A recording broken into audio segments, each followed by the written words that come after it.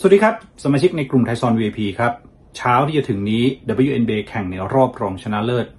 เหมือนเดิมนะครับ6โมงครึ่งกับ8โมงครึ่ง โดยระบบผู้ชนะนั่นก็คือใครได้ถึง 3 เกมใน 5 เกมก่อนเข้ารอบชิงเลย คู่แรกมินนิโซตา Lynx ครับ จะไปเยือนคอนเนติคัต Sun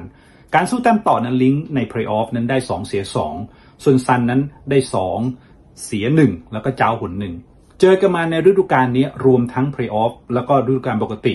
Sun เหนือกว่า 3 ต่อ 2 นะครับ โดยในเกมแรกนั้น Sun บุกไปปล้น 73-70 กินแต้มมาที่ลบ 3.5 เกมที่ 2มินนิโซตาเอาคืน 77 ต่อ 70 โดยกินแต้มที่ลบ 4.5 โดยทั้ง 2 นัดเนี่ยสกอร์รวมออกต่ำนะครับ นัดที่แล้วเนี่ยคอนเนติคัต Sun แพ้แต่อลิซาโทมัสเล่นดี 18 แต้ม 10 rebound ส่วนทาง Lynx เนี่ยนาฟีซาคอลลิเออร์ตัวเด่นเนี่ยตลอดซีรีส์2นัดยังเล่นไม่ค่อยออกเลย ยิงลงแค่ 3 จาก 14 ลูกเองนะครับ แล้วก็อาศัยว่ามี 12 rebound คอนเนติคัตเนี่ยเป็นทีมที่สู้กับมินนิโซตา Lynx แบบไม่กลัวเลย เวลาที่เจอกันมาเนี่ยนอกจากชนะเกมแล้วยังกินแต้มไป 3หนด้วยกัน แล้วเจอกันมาทั้งหมด 5 นัดนะครับ สกอร์รวมเนี่ยอ่าหมายถึงว่าสกอร์ที่เจอกันเนี่ยมันไม่เคยแพ้ชนะเกิน 7 แต้มเลย ค่าเฉลี่ยนั้นออกมาอยู่ที่ 3.6 คะแนน แน่นอนว่าไอ้การที่คอนเนติคัตเหนือก็อยู่ที่ 2.5 ก่อนแข่งเนี่ยมันก็หวาดเสียวแหละ แต่ว่า เวลาที่คอนเนติคัตเจอกับมินนิโซตา9 เกมเนี่ยพวกเธอชนะได้ตั้ง 6 เลยนะครับ ถึงแม้ว่ามินนิโซตานั้นจะเป็นทีมที่เล่นนอกบ้านดี กินแต้มมา 7 จาก 9 นัดก็เถอะ แต่ว่าปีปีนี้คอนเนติคัตเองมาแรงในการเฝ้าบ้านในช่วงปลายนะ4นัดเนี่ยได้มา 2 เจ๊าไปหนหนึ่งแล้วก็เสียเพียงแค่ครั้งเดียวนะครับทรงของเกมเนี่ยมันน่าจะออกสกอร์รวมน้อยๆ เหมือนเดิมแหละ เพราะทั้ง2นัดมันก็ไม่เกิน 150 แต้มด้วย แล้วก็นอกจากนี้นะครับ เวลาที่คอนเนติคัตเองเนี่ยเล่น 12 นัดหลังออกต่ำไปถึง 9 ครั้งด้วยกัน เกมบุกของ Lynx เนี่ยช่วงหลังๆเนี่ยผมมองว่าดูว่าไม่ค่อยฉูดฉาดเหมือนเดิม ขณะที่ทรงของคอนเนติคัตเนี่ยแม้ว่าจะแพ้เนี่ยแต่เหมือนกับคุมสถานการณ์พอได้ เป็นฝ่ายที่ประคองสถานการณ์ได้ได้โอเคเลย ในทีมเนี่ยไม่ได้มีเพียงแค่อลิซาโทมัสนะยังมีอย่างดิวานน่าบอนเนอร์มีอย่างดิโจไนคาร์ริงตันนะครับที่จะช่วยกันทำผลงานได้ มีอย่างมาเบรย์ที่จะยิงนอกในฐานะตัวสำรองอีก คิดว่า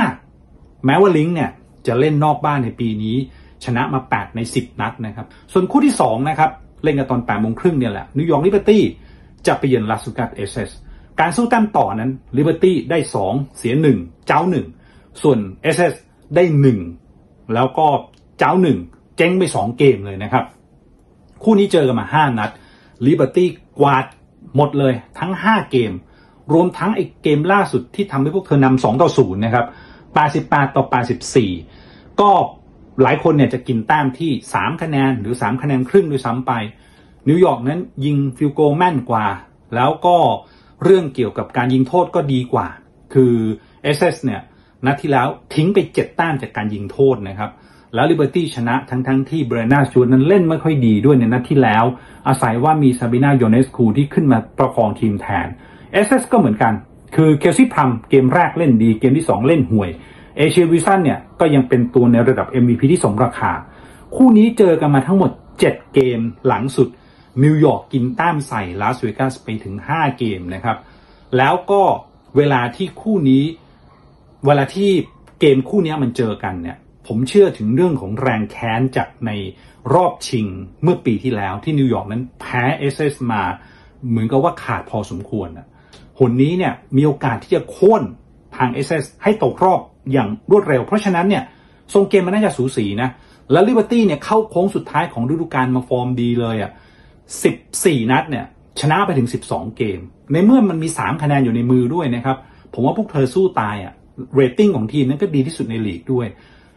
ส่วนสกอร์รวมเนี่ย แม้ว่าที่ผ่านมา Liberty จะเป็นทีมที่บาสออกสไตล์บาสทรงต่ำคือ 18 นัดเนี่ยออกต่ำไป 11 แต่คู่นี้เจอกันมา 2 นัดมันออกทรงสูงนะครับ นั่นคือความคิดเห็นของ WNBA ทั้ง 2 เกม เอามาฝากให้กับสมาชิกในกลุ่มของไทยซอน VIP ครับ